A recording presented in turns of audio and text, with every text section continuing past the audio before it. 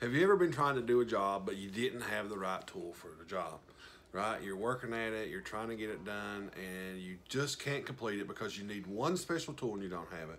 Recently, at the boys' birthday party a few months ago, we was trying to set up to blow up the balloons. Well, we didn't have the right pair of pliers to put the fitting on to use the air compressor to blow everything up for us. And it was a mess, and we fought with it. We tried everything we had, and we, we went to different tools that we had, and then finally we was like, just go buy a pair of pliers. We'll have to have a pair of pliers to get it done. We had to have the right tool for the job. Hi, I'm Shawnna. And this is my husband Pete. We're Gollihue Family Discipleship. We are inviting you into our home. Come and study the Bible with us. We believe that discipling yourself and your family through the Word of God, the reading of the Word of, uh, Word of God, is an essential part in a Christian's walk. Uh, we are continuing our study on the book of Jude. I, w- I'm going to read the verse uh, 20 and 21, and then we'll get started with the discussion.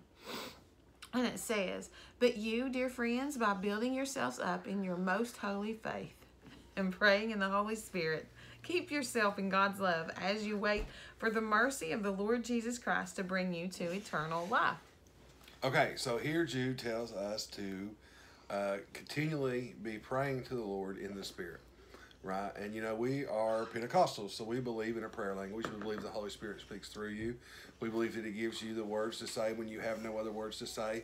But regardless of how you believe or what your denomination is, we want you to know that the Holy Spirit should be guiding your prayer life. He is the right tool for the job. If if you're not having God guide guide guide and direct your prayer life, you're doing it wrong, right? Because you're praying according to your will instead of His will.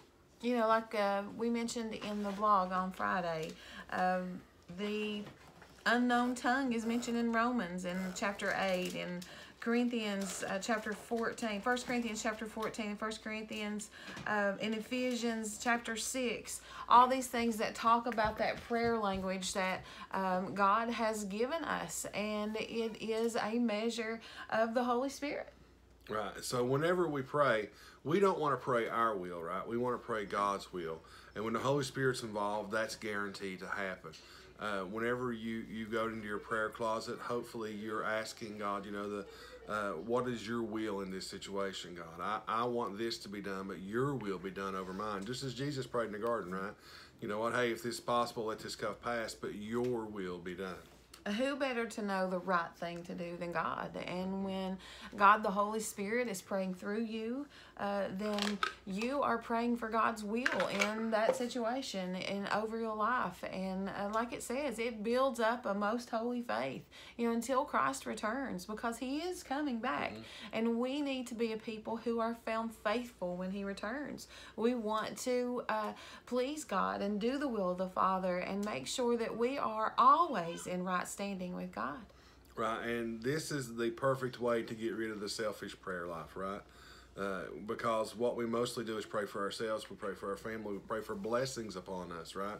But in this instance, whenever the Holy Spirit takes over, God knows exactly what needs to be done, what exactly needs to be prayed for. Uh, the He knows the strategic uh, plans of the enemy. He knows the devices that they choose to use. He knows the weapons that are trying to form against you. And uh, when the Holy Spirit is praying through you, uh, you directly deal with those things in the spiritual realm. We um, many times want the logical result. We want the natural result, and we don't understand uh, the measure of supernatural that must take place in every aspect of our life. And that is why we um, need to trust God and allow God to uh, minister through us and minister to us, knowing that He has, always has, our best interest in heart and is going to never lead us down the wrong path. He's never going to uh, want something that would uh, destroy us. Uh, he wants everything to be encouraging and uplifting for us, knowing that He, in always in the end, will work things out for our good. Right. It's a trust issue. We have to trust Him with it because mm-hmm. He will take care of it. Going forward, we remind you every day there's four things a disciple Jesus Christ will do exalt God, encounter God, edify yourself by reading the Word of God, and engage this world for Jesus Christ. Until next time, God bless you.